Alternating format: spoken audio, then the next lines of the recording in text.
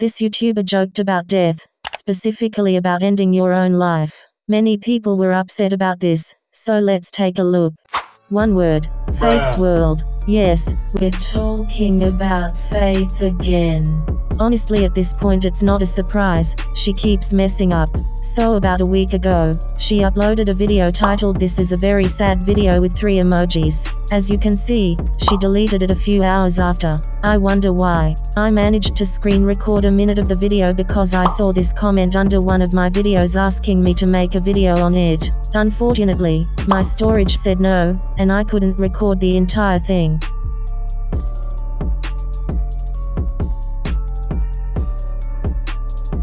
The video starts off with her friend standing near the edge of a cliff and she is begging him not to jump, saying he has so much to live for. His mind is fixed on ending his life, so he's saying he has to.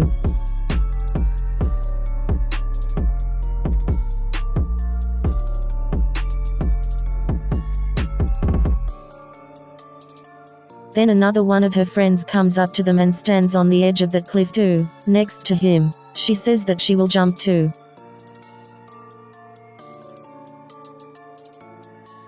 That's all I managed to record before it cut out. So yes, that was the video that people were upset about, and they had a right to be too. Faith joked about someone ending their life, when that's a serious issue.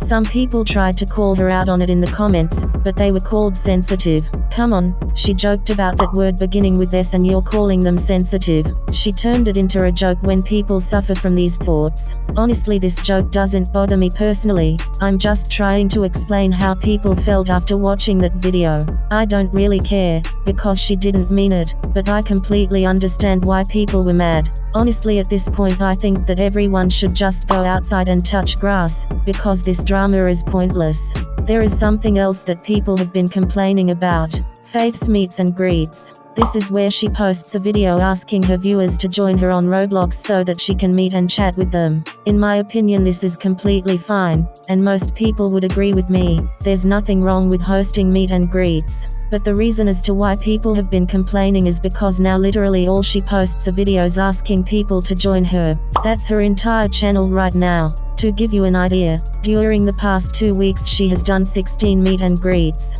I'm not lying, you can see for yourself. 16, over 14 days. Don't you think that's a little over the top?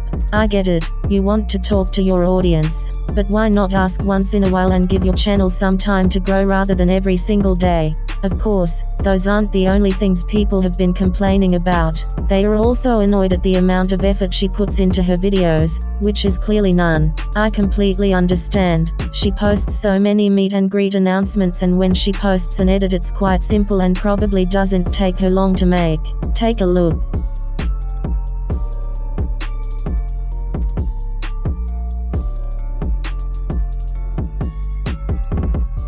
As you can see that was really basic, and I wouldn't have a problem with it if this YouTuber was a beginner. But Faith isn't, and her channel is supposed to be based on Roblox edits. Surely, if that's what you mainly do on your channel, then you'd attempt to improve your editing skills. But no, I guess not. That's basically it for today, because there's nothing else to talk about. Remember to drop your video requests below.